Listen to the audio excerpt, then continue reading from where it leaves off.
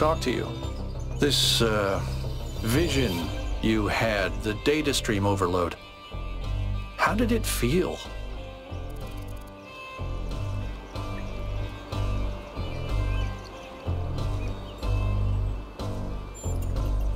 Hmm.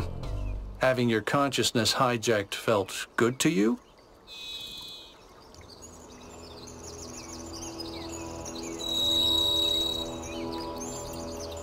Just don't take this too lightly, okay? We're sturdier than our ancestors, but a mind is still a fragile thing.